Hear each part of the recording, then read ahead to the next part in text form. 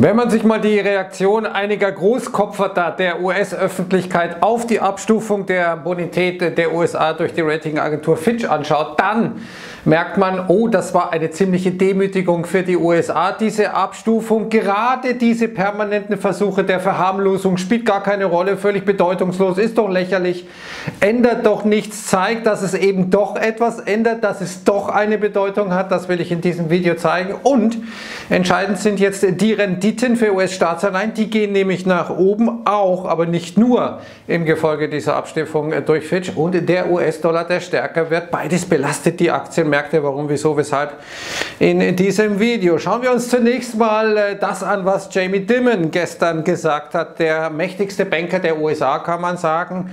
Der sagte auch, also nee, spielt keine Rolle, sei lächerlich. Immer wieder wird dieses Wort lächerlich benutzt und äh, es ändert nicht wirklich äh, sehr, sehr viel. Und er sagte, denn es sind die Märkte, nicht Ratingagenturen, die die Borrowing Costs, also die die Zinsen definieren. Und exakt das ist passiert. Die Märkte definieren die Zinskosten. Und was tun die Märkte? Sie reagieren sehr wohl auch auf die Abstufung äh, der USA durch die Ratingagentur Fitch, indem eben die Renditen nach oben gehen, also die Kapitalmarktzinsen, damit faktisch die Geldaufnahme für die USA teurer wird. Also die Märkte reagieren ja darauf, das widerlegt unmittelbar das Argument, äh, von Jamie Dimon, dass äh, das alles ja gar keine Rolle spiele. Und dann sagte Dimon einen Satz, der unglaublich tief blicken lässt. Es sei doch lächerlich, dass andere Länder, die jetzt ein höheres Rating hätten als die USA, gleichzeitig total abhängig sein von der Stabilität der USA und seinem Militär. Also hier sieht man, hey, wir sind doch der Boss in der Welt und äh, die anderen, die wir schützen, die sozusagen ohne uns richtige Probleme hätten, äh, die haben jetzt ein besseres Rating als wir. Das zeigt so diese Demütigung, die hier der Fall ist und äh, wir wollen uns hier mal diesen äh, Mann anschauen, Steve Hanke, der ist äh, ein sehr, sehr bekannter Ökonom, der auch für Regierungen schon gearbeitet haben, der eben das alles auch entlarvt ein bisschen und sagt, naja, alle sagen, es spielt keine Rolle, aber es spielt eben eine Rolle. Wir sehen doch an den Märkten, dass es eine Rolle spielt, indem letztendlich die Renditen, also die Risikoprämien, wenn man so will, für Anleihen, vor, vor Staatsanleihen nach oben gehen. Das hat auch noch einen sehr, sehr wichtigen anderen Grund, aber hier nochmal äh, zu Fitch äh, dieser Einstufung. Ich hatte gestern genau gezeigt, aus meiner Sicht widerlegt, dass das lächerlich ist, sondern überfällig war. Die Amerikaner haben viel schlechtere Parameter als alle anderen Länder, die noch ein AAA-Rating haben oder sogar ein AA-Rating haben. Äh, ob äh, Schulden zu BIP, äh, ob äh, Zinsbelastung zu Einnahmen oder welche Kategorien man auch immer hinzunimmt, da ist die USA viel, viel schlechter als alle anderen, die im vergleichbaren Segment bisher waren. Vielleicht könnte man AAA äh, als Bundesliga, Double A, also zweifach A, als die zweite Bundesliga bezeichnen. Und dementsprechend ist der Abstieg ähm, der USA in die zweite Bundesliga noch sehr schmeichelhaft, wenn man eigentlich sieht, die gehören, wenn man jetzt rein die Mathematik, rein die Zahlen mal sehen würde, in die dritte Liga mindestens, denn wir sehen hier, man zahlt eine Billion an ähm, Zinsen pro Jahr. Und äh, die Schulden werden auf 200 Prozent des BIPs etwa im Jahr 2050 steigen. Und der Grund, warum die Renditen nach oben gehen, äh, das ist vor allem diese Flut von neuen Anleihen, die auf den Markt kommt. 1,85 Billionen äh, mehr als äh, die aller, aller, aller, allermeisten Länder überhaupt jährlich an Wirtschaftsleistung haben. Und wir sehen heute Morgen praktisch wieder einen Anstieg der Renditen. Deswegen zunächst mal negative Reaktion auch der Aktienmärkte heute. Zehnjährige US-Staatsanleihe 4,164 Prozent. Äh, das ist der höchste Stand jetzt seit November letzten Jahres und es geht ziemlich äh, schnell. Das ist sozusagen das große Problem. Insgesamt muss man sagen, dass äh, Anleihen bisher keine gute Absicherung waren für ähm, Aktien oder dass man sagt, ja okay, wenn wir aus Aktien rausgehen, gehen wir in Anleihen. Das funktioniert jetzt nicht, das ist auch ein Problem.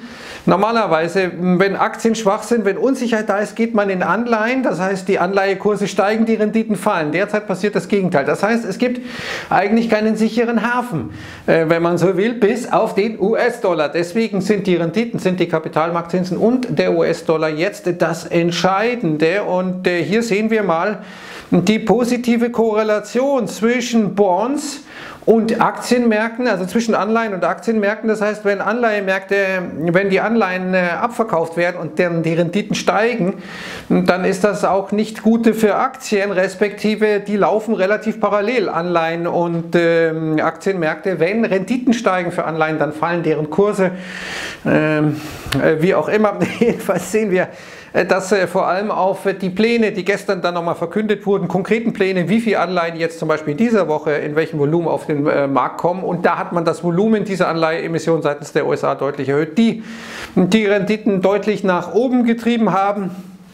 Wenn viel Angebot da ist, muss Nachfrage her, sonst äh, hast du ein Problem und weil die Nachfrage nicht sicher ist, steigen eben die Renditen. Und jetzt Bill Ackman, äh, der bekannte Hedgefondsmanager, sagt auch, ich gehe jetzt short, äh, spekuliere also auf weiter steigende Renditen, etwa für die 30-jährige US-Staatsanleihe, denn er sagt, ähm, das äh, ist äh, A, ein Hedge für die Aktienmärkte, falls äh, meine Position im Aktienmarkt irgendwie unter Druck kommen. Also sieht er eben auch, dass die Renditen steigen, wenn die Aktienmärkte fallen. Und er sagt wahrscheinlich, dürfte die längerfristige Inflation eher bei 3% als bei 2% äh, sein. Und wenn man das Ganze mal ausrechnet, dann kommt man darauf, dass eigentlich so eine 30-jährige Anleiherendite so um 5,5% liegen müsste. Auch das hat Signalwirkung. Er macht das übrigens über Optionen. Und hier sehen wir mal, ähm, wir haben ja dieses Goldilocks-Szenario narrativ an den Märkten. Die Anleihenmärkte dagegen hatten eine Invertierung der Zinskurve so stark wie seit 1928 nicht mehr. 1929 war ja dann ein ganz bombiges Jahr für die Aktienmärkte, wie wir wissen. Und ähm, äh, also diese Anleihenmärkte sehen das Gegenteil dessen, was wir im Goldilocks-Narrativ der Aktienmärkte haben. Jetzt aber sehen wir, dass sich die Zinskurven wieder äh, versteilen, also reinvertieren. Die ähm, ähm werden wieder jetzt ähm, in Richtung Null äh, unterwegs sein. Mithin äh, sehen wir also, dass ein Rezessionssignal vor der Tür steht. Immer dann, wenn sich die Zinskurven entinvertieren, äh, dann äh, ist die Rezession da, das ist die historische Erfahrung. Interessante Beobachtung jedenfalls äh, dieser Versteilung wieder der Zinskurve und irgendwann, wenn die Amerikaner so weitermachen, dann kommt der Punkt, wo die Fed wieder einspringen muss und die Anleihen kaufen muss, die sie ja jetzt auf den Markt wirft. Auch das kommt ja zusätzlich noch an Stress dazu, denn die Bilanzsumme der Fed reduziert sich, weil zum Beispiel die Fed eben Anleihen, die sie im Rahmen ihres Quantitative Easings gekauft hat, nicht reinvestiert, sondern die einfach auslaufen lässt, nicht neue kauft. Und äh, jetzt hat äh, der äh, Analyst von S&P, von Standard Poor's, der 2011 die Abstufung gemacht hat, hat gesagt, also wenn wir unsere Kriterien ernst nehmen als Ratingagentur, dann ist es schon verwunderlich, warum Fitch erst jetzt abgestuft hat, die USA. Und wie gesagt, ich hatte vorhin gezeigt, wenn man die Parameter der USA mal mit anderen AAA-bonitären Ländern oder AA-bonitären Ländern vergleicht, dann sind die USA signifikant schlechter. Dementsprechend ist dieser Schritt überfällig. Auch Moody's müsste eigentlich nach unten stufen. Und insgesamt nochmal auf dieses Goldilocks-Szenario. Daniel DiMartina Booth, die ich ähm, sehr gerne verfolge, äh, ehemalige fette Beraterin, äh, die sagt, also diese Selbstgefälligkeit der Märkte erinnert sie an die Dotcom- und Immobilienblase. Die Anleger sind so begeistert von den steigenden Aktienkursen, dass sie das größere, äh, düstere, düstere Wirtschaftsbild übersehen.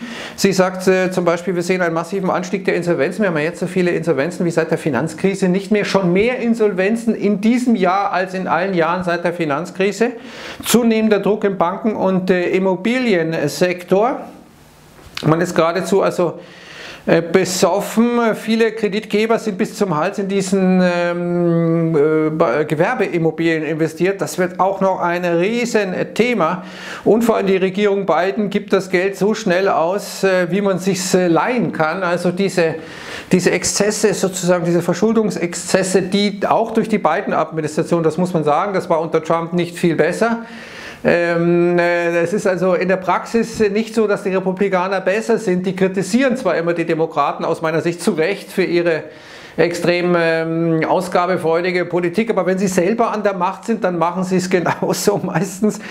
Und ähm, also wir haben hier diese äh, Selbstgefälligkeit und das bei extrem hohen Zinsen und extrem hohen Schulden. Das passt nicht zusammen, wie ich gestern in äh, dem Marktgeflüster thematisiert hatte. Und hier sehen wir mal diese Euphorie. JP Morgan, neue Hochs sind äh, fühlen sich unvermeidbar an, äh, so hat man gesagt. Dann Oppenheimer, das Kursziel nach oben gesetzt. Äh, der Dauerbär Mike Wilson ist weniger bärisch geworden und man könnte ja argumentieren auch beim Dow Jones, naja, ist eine umgedrehte Schulterkopf-Schulterformation.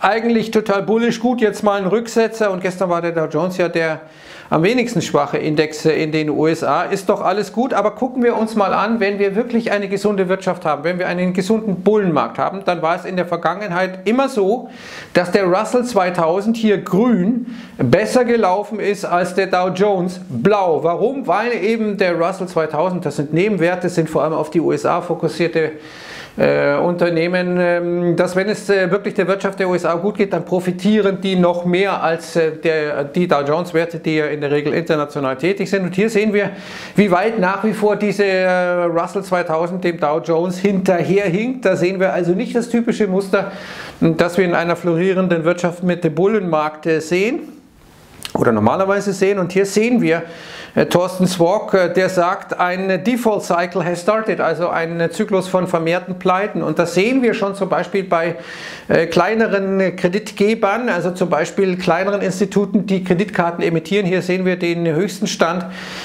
von Ausfallraten derzeit bei 7,1 Prozent, ist sogar höher als in der Finanzkrise höher als ähm, in Corona. Das zeigt, dass diejenigen, die also klein sind und deswegen auch vielleicht schlechter bonitäre Kunden annehmen müssen, weil sie es sich nicht leisten können, wie JP Morgan und Konsorten, die abzulehnen, äh, dass da schon die Dinge außer äh, Kontrolle geraten, außer Kontrolle auch das, was die Bank of Japan gemacht hat. Da hat man ja äh, gesagt, okay, die Renditen dürfen äh, bis 1% äh, steigen für die 10-jährige japanische Anleihe. Dann ähm, tun die Märkte das, die Anleiherenditen gehen nach, gehen nach oben und die Bank of Japan hat jetzt durch Anleihekäufe interveniert. Das zeigt so dieses ganze Paradox, auch Japan ja massiv verschuldet. Hm, gleichzeitig eine nicht unerhebliche Inflation der Yen im freien Fall. Aber nochmal zurück in die USA. Hier sehen wir heute um 16 Uhr wichtig ISM Einkaufsmanager Index, nachdem der ADP Arbeitsmarktbericht gestern ja stärker war. Aber dieser Arbeitsmarkt ist ein nachlaufender Indikator. Der Arbeitsmarkt reagiert immer als letzter. Und äh, viele Unternehmen werden sich sagen, naja, es ist schwierig, gute Arbeitskräfte zu finden, bevor wir da jemanden entlassen. Da warten wir wirklich bis Ultimo, bis wir sehen, hey, es geht wirklich bergab mit der Wirtschaft. Aber interessant eben, ob jetzt auch der Dienstleistungssektor abkühlt, nachdem der Gewerbesektor ja schon lange in der Rezession ist, auch in den USA. Aber Gewerbe macht nur 11% aus, um und bei, während Dienstleistung eben äh, sehr viel wichtiger ist für die Gesamtwirtschaft. Aber im S&P 500 zum Beispiel sind die Unternehmen mit den größten Profiten in der Regel Gewerbe. However, heute kommt der Tech, dann nachbörslich Apple, da wird der dritte äh, Umsatzrückgang in Folge erwartet. Gut, dass Apple in der Nähe des Allzeithochs ist. Dann Amazon, die Zahlen nachbörslich, wir werden darüber berichten. Apple, by the way, ist jetzt äh, zunächst mal aus dem Aufwärtstrend rausgefallen, den man seit Jahresbeginn hat. Mal sehen, wie das da weitergeht. Der WIX ist ausgebrochen, ich glaube 15 oder 16 Prozent gestiegen. Wir sehen hier nochmal die US-Indizes, vor allem Nasdaq schwach. Also die Indizes, die besonders gut gelaufen waren, sind jetzt äh, besonders äh, schwach. Dieses, diese Abstufung wird natürlich auch äh, genommen, um mal ein paar, paar Chips vom Tisch zu nehmen nach den Exzessen hier der WIX. Wie gesagt, mit diesem starken Anstieg normalerweise sieht man dann eine Konsolidierung wahrscheinlich zurück zu diesem gebrochenen Abwärtstrendkanal, was bedeuten würde, dass wir vielleicht eine Erholung sehen werden. Insgesamt übergeordnet, wenn wir uns die Aktienmärkte mal anschauen in den USA, dann sehen wir jetzt äh, genau vor zwei Jahren, oder das mal mit äh, dem Stichtag 2. August äh, 2021 vergleichen, da sehen wir S&P 2,8% im Plus, Nasdaq 2,9% im Plus, Dow Jones 1,1%, der Russell äh, IWM hier 9,2% im Minus, also diese Schwäche der Nebenwerte. Würden wir das Ganze jetzt inflationsbereinigt mal sehen, dann wären äh, alle Indizes im Minus, das heißt real. Wenn ich da ETFs zum Beispiel habe, habe ich seit zwei Jahren kein Geld verdient, auch wenn alle immer von dem Bullenmarkt sprechen. Wir haben ja jetzt 47 Tage, Handelstage beim S&P 500 kein Verlust von 1% oder mehr gesehen. Gestern ist diese Serie jetzt gerissen. Wir bilden jetzt langsam positive Divergenzen aus im kurzen Zeitfenster auf 15 Minuten Basis, kurzes Zeitfenster. Das heißt, wir sind ganz kurzfristig gesehen etwas überverkauft. Übergeordnet sind wir natürlich in den übergeordneten Zeitperspektiven natürlich total überkauft. Deswegen kann diese Korrektur auch saftig werden, weil alle auf derselben Seite des Bootes stehen. Und interessant, der Dollar, ich äh, sagte es bereits, der Dollar ist die Weltreservewährung, der sichere Hafen. Deswegen, auch wenn es die Währung der USA ist, die jetzt abgestuft wurde, hier sehen wir, diese neuralgischen Bereiche jetzt, äh, das könnte einen Ausbruch ergeben. Der Dollar-Index jetzt ist gestern gestiegen über seinen 50er und 100-Tages-Durchschnitt und normalerweise ist Dollarstärke nicht so gut für die Aktienmärkte und umgekehrt. Kommen wir nochmal nach China. Gestern hatten wir Zahlen äh, des US-Konzerns, Tech-Konzerns Qualcomm. Die Aktie nachbörslich unter Druck. Und äh, hier sagt man in Sachen China, Weakness across China und Emerging Markets äh, und äh, sieht da die Dinge äh, sehr, sehr skeptisch, was äh, Chinas äh, Wirtschaft betrifft. Jetzt hat Chinas Regierung die Broker angewiesen, überlegt euch mal, wie ihr die Aktienkurse wieder nach oben bringen könnt.